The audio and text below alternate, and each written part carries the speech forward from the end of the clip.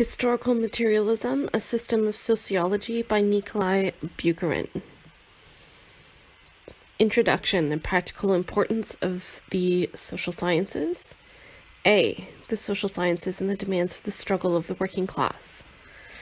Bourgeois scholars speak of any branch of learning with mysterious awe, as if it were a thing produced in heaven, not on earth. But as a matter of fact, any science, whatever it be, grows out of the demands of society or its classes. No one takes the trouble to count the number of flies on a window pane or the number of sparrows in the street, but one does count the number of horned cattle. The former figures are useful to no one. It is very useful to know the latter, but it is not only useful to have a knowledge of nature, from whose various parts we obtain all our substances, instruments, raw materials, etc., it is just as necessary in practice to have information concerning society. The working class at each step in its struggle is brought face to face with the necessity of possessing such information. In order to be able to conduct its struggle with other classes properly, it is necessary for the working class to foresee how these classes will behave. For this, it must know on what circumstances the conduct of the various classes under varying condi conditions depends. Before the working class obtains power, it is obliged to live under the yoke of capital and to bear in mind constantly, in its struggle for liberation, what will be the behavior of all the given classes. It must know on what this behavior depends and by what such behavior is determined. This question may be answered only by social science. If the working class has conquered power, it is under the necessity of struggling against the capitalist governments of other countries, as well as against the remnants of counter-revolution at home, and it is also obliged to reckon with the extremely difficult tasks of the organization of production and distribution. What is to be the nature of the economic plan? How is the intelligentsia to be utilized? How are the peasantry and the petty bourgeoisie to be trained to communism?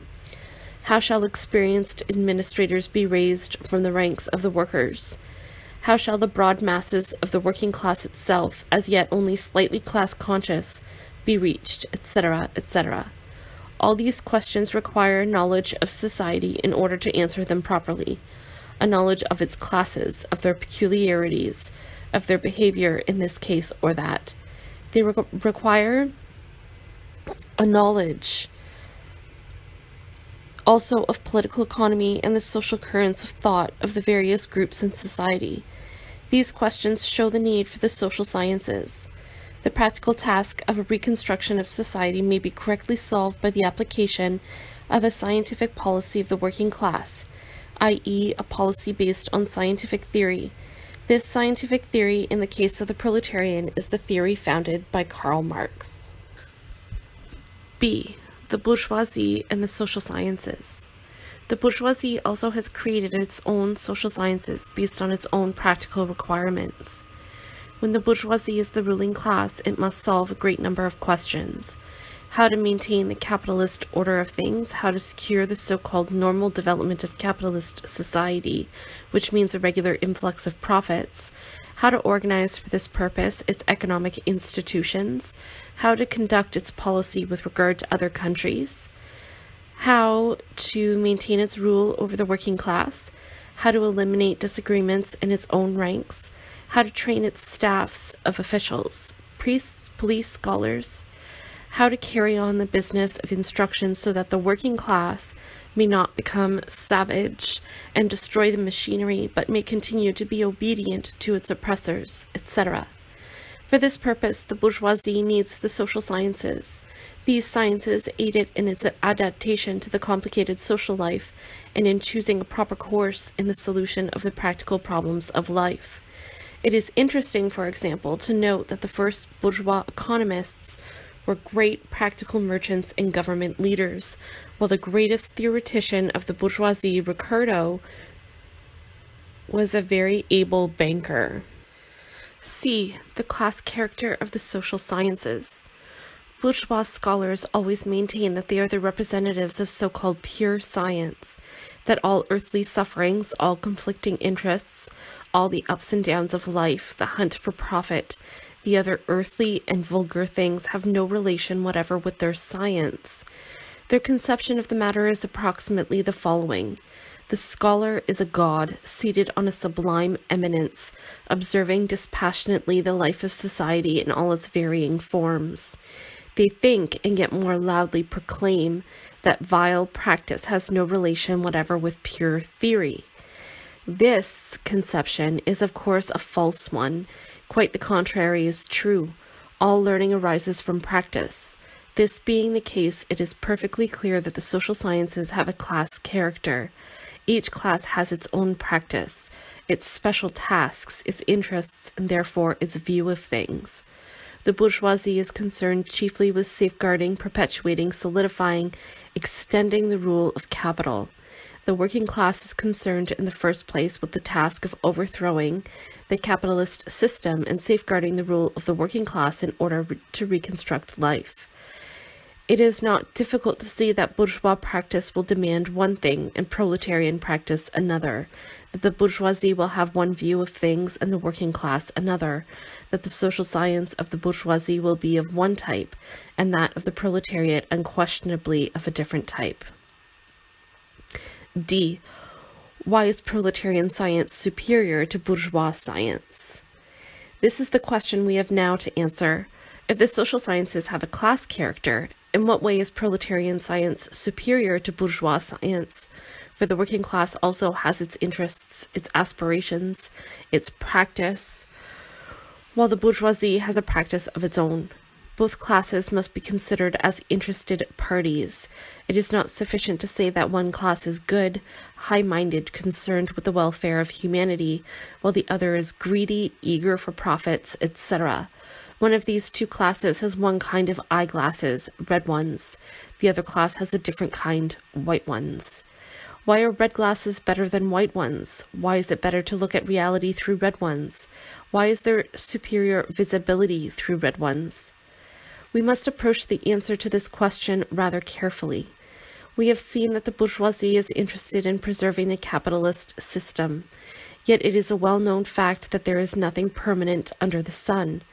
There was a slavery system, there was a feudal system, there was and still is the capitalist system. There also have been other forms of human society. It is evident and incontrovertibly so that we must infer the following. He who would understand social life on its present basis must also understand at the outset that all is changing, that one form of society follows upon another. Let us picture to ourselves, for example, the feudal serf owner who lived in the period before the liberation of the peasants from serfdom. Such a man, in many cases, could not even imagine that there might exist an order of society in which it would be impossible to sell peasants or exchange them for greyhounds. Could such a serf owner really understand the evolution of society correctly? Of course not. Why not? For the reason that his eyes were covered not by glasses but with blinders. He could not see further than his nose, and therefore was unable to understand even the things going on right under his nose. The bourgeoisie also wears such blinders. The bourgeoisie is interested in the preservation of capitalism and believes in its permanence and indestructibility.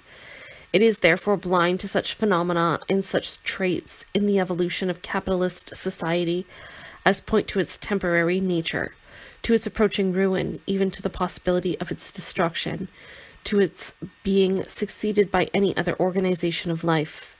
This is made most clear by the example of the World War and the Revolution. Did any one of the more or less prominent bourgeois scholars foresee the consequences of the world's slaughter? Not one. Did any one of them foresee the outbreak of revolution? Not one. They were all busily occupied in supporting their bourgeois governments and predicting victory for the capitalists of their own country. And yet these phenomena, namely the general destruction of by, war, by warfare and the unprecedented revolution of the proletariat, are deciding the destinies of mankind, are changing the face of the entire earth. But of all this, bourgeois science has not a single premonition. But the communists, the representatives of proletarian science, did foresee all this. The difference is due to the fact that the proletariat is not interested in the preservation of the old and is therefore more far-sighted. It is not difficult to understand now why proletarian social science is superior to bourgeois social science. It is superior because it has a deeper and wider vision of the phenomena of social life, because it is capable of seeing further and of observing facts that lie beyond the vision of bourgeois social science. It is therefore clear that Marxists have a perfect right to regard proletarian science as true and to demand that it be generally recognized. E. The various social sciences and sociology. Human society is a very complicated thing. In fact, all social phenomena are quite complicated and varied. We have, for instance, the economic phenomena, the economic structure of society and its national organization, and the fields of morality, religion, art, learning, philosophy, and the domain of family relations, etc. These are often interwoven into very peculiar patterns, constituting the current of social life. It is, of course, clear that for an understanding of this complicated social life, it is necessary to approach it from the various starting points, to divide science into a group of sciences. One will study the economic life of society, science of economics, or even the special universal laws of capitalist economy, political economy. Another will study law and the state and will go into special matters of default of detail. A third will study, let us say, morality, etc. And each of these branches of learning in its turn can be divided into two classes. One group of these sciences will investigate the past, a certain time in a certain place. This is historical science. For example, in the field of law, it is impossible to investigate and, and to describe precisely how law and the state have developed, and how their forms have changed. This will be the history of law, but it is also possible to investigate and solve certain questions. What is law? Under what conditions does it grow or die out? And what do its forms depend, etc.? This will be the theory of law. Such branches of learning are the theoretical branches.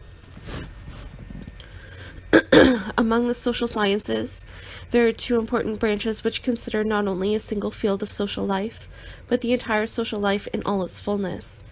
In other words, they are concerned not with any single set of phenomena, such as eco economic, or legal, or religious phenomena, etc., but take up the entire life of society as a whole concerning themselves with all the groups of social phenomena. One of these sciences is history, the other is sociology. In view of what has been said above, it will not be difficult to grasp the difference between them. History investigates and describes how the current of social life flowed at a certain time and in a certain place. For example, how economy and law and morality and science and a great number of other things developed in Russia beginning in 1700 and going down to 1800, or in China from 2000 BC to 1000 AD, or in Germany after the Franco Prussian War in 1871, or in any other epoch and in any other country or group of countries. Sociology takes up the answer to general questions such as what is society? On um, what does its growth or decay depend? What is the relation of the various groups of social phenomena? economic, legal, scientific, etc., with each other? How is their evolution to be explained? What are the historical forms of society? How shall we explain the fact that one such form follows upon another, etc., etc.? Sociology is the most general, abstract of the social sciences. It is often referred to under other names such as the philosophy of history, the theory of historical process, etc. It is evident from the above what relation exists between history and sociology. Since sociology explains the general laws of human evolution, it serves as a method for history. If, for example, sociology establishes the general doctrine that the forms of government depend on the forms of economy, the historian must seek and find in any given epoch precisely what are the relations and must show what is their concrete, specific expression. History furnishes the material for drawing sociological conclusions and making sociological generalizations, for these conclusions are not made up of whole cloth, but are derived from the actual facts of history. Sociology, in its turn, formulates a definite point of view, a means of investigation, or as we now say, a method for history. the theory or F, the theory of historical materialism as a Marxian sociology. The working class has its own proletarian sociology known as historical materialism. In its main outlines, this theory was elaborated by Marx and Engels. It is also called the materialist method in history or, sim- or simply economic materialism. This profound and brilliant theory is the most powerful instrument of human thought and understanding.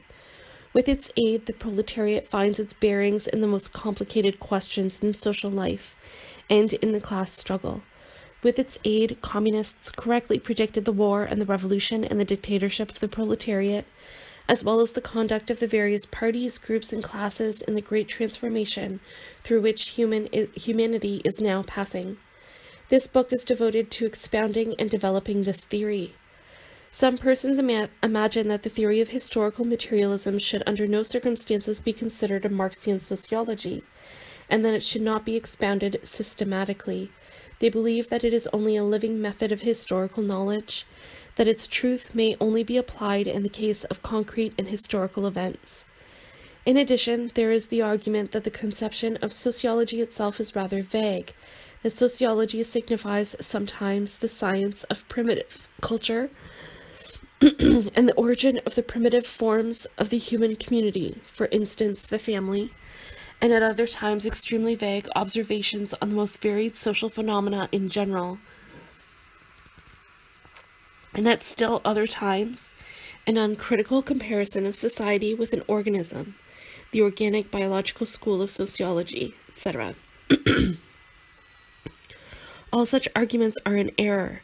In the first place, the confusion prevailing in the bourgeois camp should not induce us to create still more confusion in our ranks for the theory of historical materialism has a definite place. It is not political economy, nor is it history. It is the general theory of society and the laws of its evolution, i.e., sociology. In the second place, the fact that the theory of historical materialism is the method of history by no, no means destroys its significance as a sociological theory. Very often, a more abstract science may furnish a point of view, method, for the less abstract sciences. This is the case here also, as the matter-enlarged type has shown.